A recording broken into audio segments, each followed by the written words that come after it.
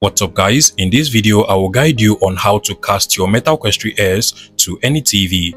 This is also going to work out for your Meta Quest 3 as well and it doesn't matter the type or brand of TV you have whether it's an LG TV, Hisense TV, Sony Bravia TV, Samsung, any brand of TV at all, following the same step will definitely work out for you on your smart TV. Over here I am using an LG TV now, before we proceed, in order to carry everyone along, there are basically two ways to cast your MetaQuest 3S or your MetaQuest 3 to any TV. The first method is specifically for Android and Google TVs that actually has Chromecast. And then for the second method, it is actually for other smart TVs that do not have Chromecast or that are not Google and Android TVs. And that is the first method I'll be showing you in this video. So if your TV is not an Android or a Google TV, but you have something like an LG WebOS TV like this one, or the Samsung Tizen operating system TV, the Hisense VIDAA Smart TV or Roku TV, this is how you want to go about to cast your Meta Quest 3S or your Meta Quest 3 to your TV.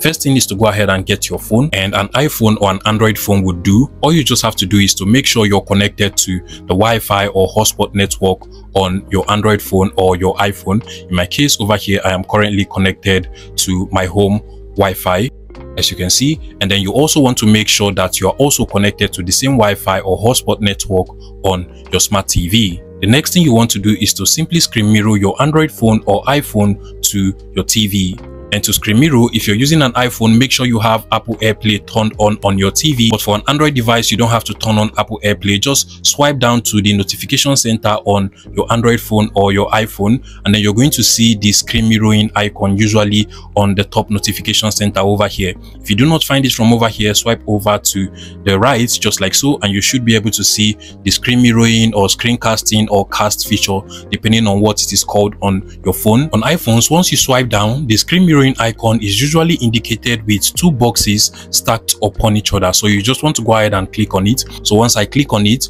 your phone will start to search for available devices it can actually connect to. Now you can literally see my LG TV. You should be able to find the name of any TV you have. Just go ahead and select it and automatically your phone will be screen mirrored and connected to your TV just like so. Now, the final step you want to take is to go ahead and get your Meta Quest 3S or your Meta Quest 3. And on your Meta Quest 3S or your Meta Quest 3, first of all, make sure that the device is actually turned on. And then you want to also make sure you are connected to the same Wi-Fi or hotspot network as your phone. Now, the last thing you want to do is to go ahead and get your phone. And on your phone, you want to locate the Meta Horizons app. Go ahead and open it up. And if you want to know whether your VR headset is currently connected to the Meta Horizons app, you can go ahead and click on the headset icon usually at the top of the Meta Horizons app or in some cases you're going to find it at the bottom just at the bottom right corner of the Meta Horizons app. If you click on mine now you're going to see that both devices are currently not connected so I'll go ahead and make sure that both devices are connected by simply turning on the Bluetooth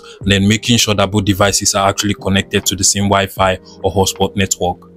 Now you want to go back to the home of your Meta Quest 3S or your Meta Quest 3 and come over to the headset icon over here and then just click on the cast button just like so. Click on continue and automatically your Meta Quest 3S or your Meta Quest 3 will be casted to any TV you have from your phone. Okay, so I have just turned on the pass-through feature on my MetaQuest 3S and as you can see, this is actually the MetaQuest 3S or the MetaQuest 3 environment. So this is actually how you go about to cast your MetaQuest 3S or your MetaQuest 3 to any TV that is not an Android or a Google TV. Now for an Android or Google TV, you don't actually need to use your phone for anything. All you just have to do is to make sure that both devices are connected to the same Wi-Fi or hotspot network. If you do not know how to connect your Meta Quest 3S or your Meta Quest 3 to Wi-Fi or hotspot network, just go ahead and click on this quick settings menu over here close to your profile icon. Once you select it, it is going to open up this quick settings menu and then just go over to Wi-Fi and make sure you're connected to your home Wi-Fi. You want to look for the camera icon. Usually it is just over here but if you cannot find it